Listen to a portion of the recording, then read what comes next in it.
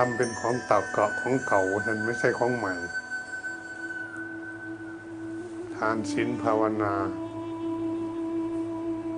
สติปัญญา เป็นของเก่าทั้งนั้นเลย เห็นหมอเพิ่นให้ เป็นพาทำบุญกับบอกมาเป็นทำบุญทำทานรักษาศีลภาวนาที่แต่ของเก่าทั้งนั้นมันให้พรก็ให้เก่าพอให้ ให้ศีลกับศีลเก่าทำนโมก็นโมเก่านะมันไม่มีนโมใหม่ไม่มี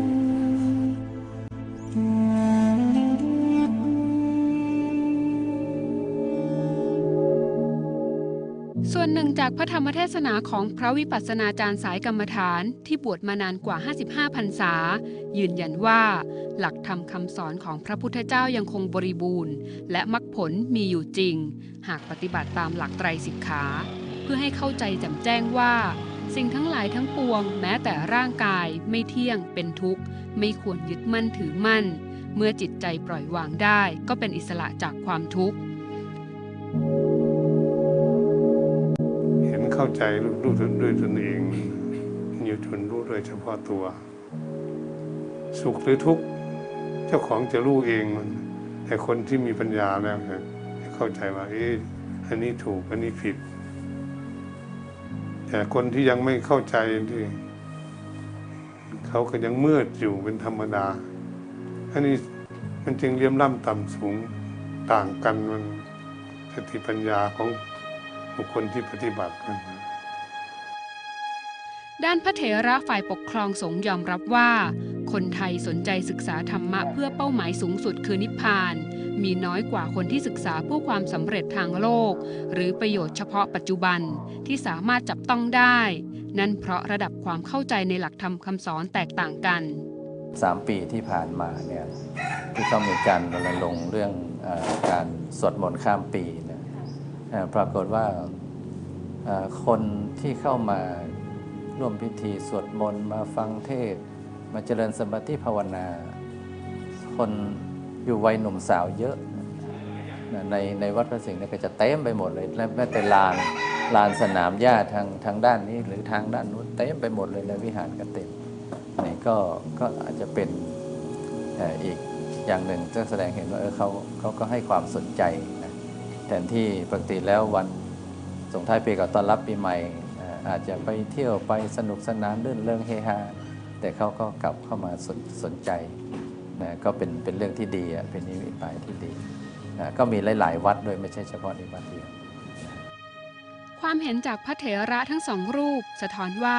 ศาสนิกชนไทยส่วนใหญ่เป็นพุทธแค่ในทะเบียนบ้าน เพราะห่างไกลจากแก่นธรรมคำสอนที่แท้จริง จึงมุ่งเน้นการสอนให้เข้าใจระดับเบื้องต้น คือการทำทานรักษาศีล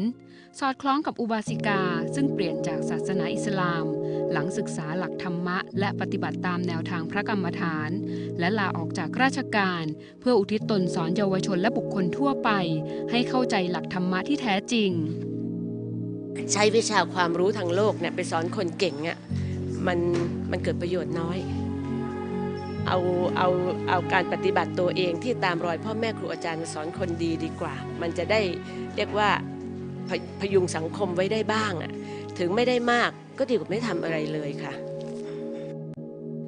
เช่นเดียวกับจิตแพทย์เด็กและวัยรุ่น สถาบันสุขภาพจิตเด็กและวัยรุ่นราชนครินที่นำหลักธรรมะมาใช้ในการบำบัดและรักษา โดยมุ่งเน้นให้คนไข้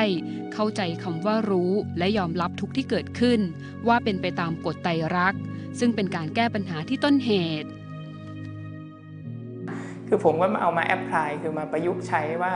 หลักจิตวิทยาให้เขาเรียนรู้ว่าใจอยู่กับเขาอะนะฮะถ้าใจอยู่กับเขาแล้วเขายัง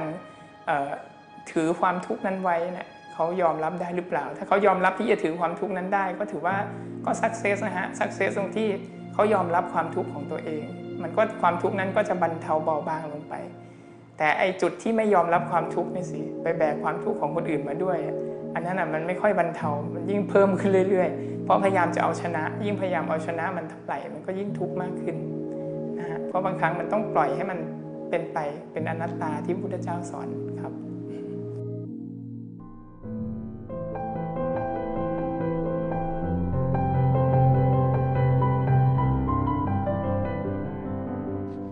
ความเห็นจากสามเสาหลักในพุทธบริษัท เป็นสิ่งยืนยันว่า นิพพานเป้าหมายสูงสุดของศาสนาพุทธ เป็นสิ่งที่สัมผัสได้จริง หากเข้าใจหลักการและปฏิบัติจริงจัง ด้วยการเรียนรู้กายใจของตัวเอง และพวกเขากำลังสะท้อนความเชื่อนี้ ผ่านการทำหน้าที่ของตัวเอง เพื่อหวังลดช่องว่าง ความห่างไกลจากแก่นธรรมคำสอนที่แท้จริงวิรพรวังสะอาด Voice TV รายงาน